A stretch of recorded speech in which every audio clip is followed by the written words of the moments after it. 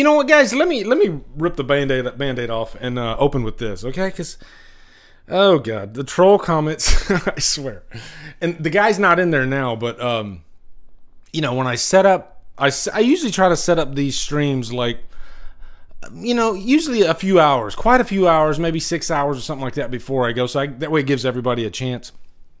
And sure enough, I saw some guy in there and he dropped like four, four different comments, um, stating that I was mad that Halloween ends and kills didn't make as much as Scream Five, and saying why are you comparing uh, these two movies? Like, what's wrong with that? And, and why don't you just wait until the movies come out and review them? You don't need to be doing this. And I'm just like, first off, uh, uh fuck you. Uh, second off, it's it's my channel. I'll talk about whatever the hell I want to, and uh, that's my right. That's fine. But that's the mean stuff out of the way, okay? And I mean that with all of my freaking bloody heart, okay?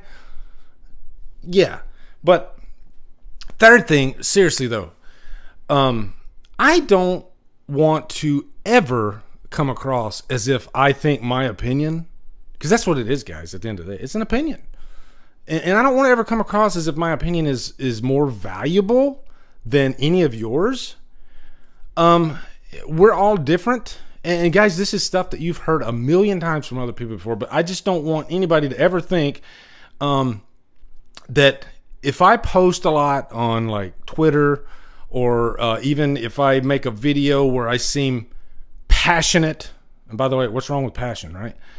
Um, at the end of the day, we all are fans of a franchise.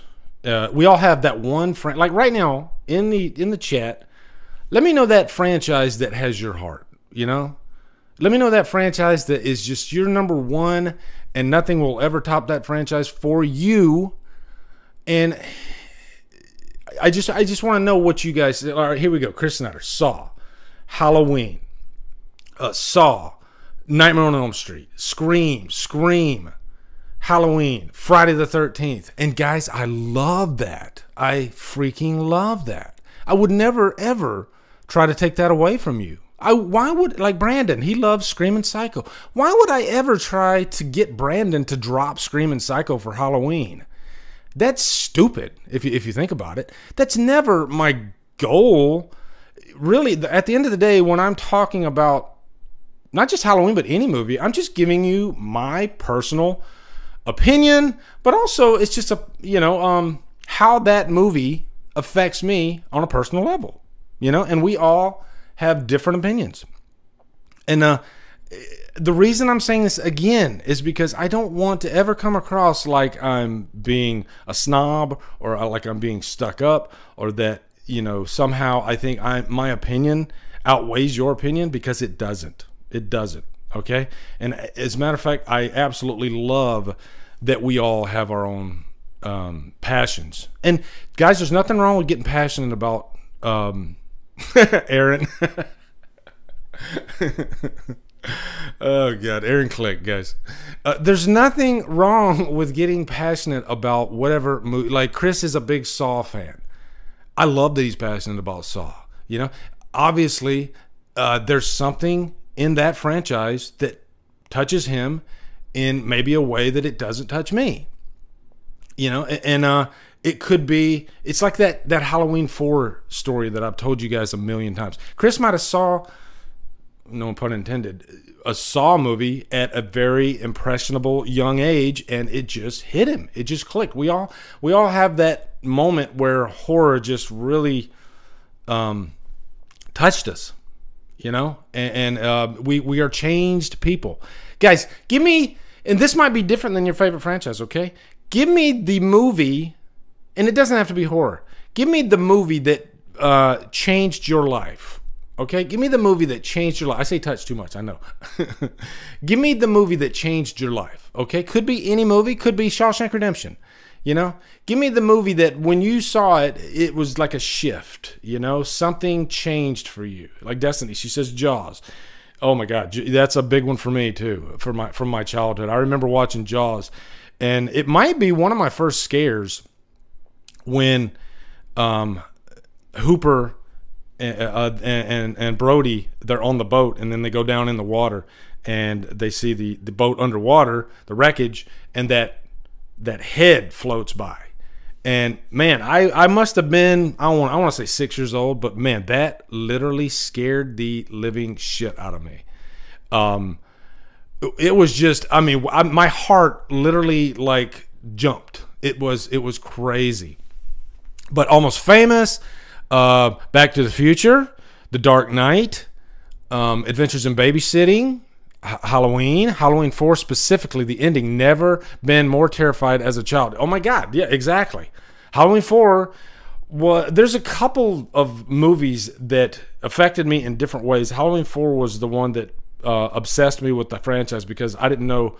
Um, I didn't know a horror movie could one scare me like that, but two have me so invested. Like I was so invested with Rachel and Jamie Lloyd and their journey throughout that movie. I mean, I I was just guys, locked in. I was so locked in that I didn't even notice the silly looking mask.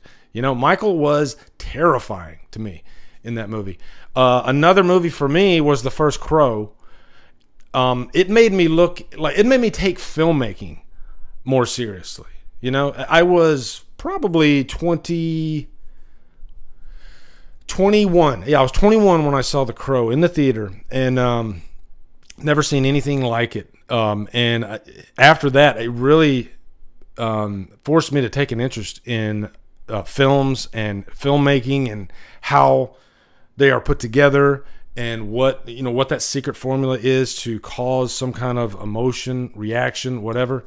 The crow did that for me big time big time. So I, I, you know i don't know i lost my point but my point is i love movies so much and I love that you love movies so much. And I would never, ever try to take any of that away from you guys. You know, I do get some um, viewers that they get mad at me. They do. They do get really, really angry with me because I am passionate. I, I think that's what it is. If I if I came on here and I was just like, I like this movie, you know, and it, and here's the pros. I thought the, the the filmmaking was very nice. I liked the cinematography; it was beautiful. I thought the acting was really great, you know. Um, the music was nice, but you know, if if I did that, then it wouldn't be there would be no passion in it, and, and I can't help that. When I talk about any movie, that just comes out, and sometimes I'm angry because that movie affected me, me that way. It made me, it might have made me angry, you know. That's going to happen. And all I can do is be honest with you guys. That's all I can do. I'm not going to hold back. By the way, guys, and I didn't know this when I did it, but M3GAN, I after I watch a new release, I sit down and I have to go on Rotten Tomatoes and I have to log my my either fresh or rotten. And 99.9% of the time it's easy. Fresh rotten. I you know it, it's automatic. I know exactly the rating i want to give the movie. M3GAN was the first movie that i i was like fre- wait hold on hold on just a second.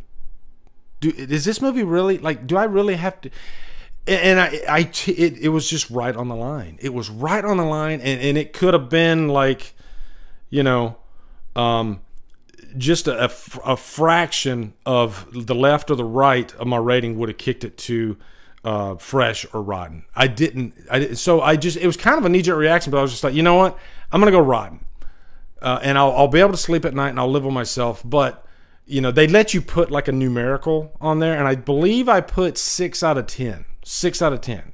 Okay, and I believe I think anything above six out of ten you can technically, I think you can just give it a fresh if you want to anyway. I don't know.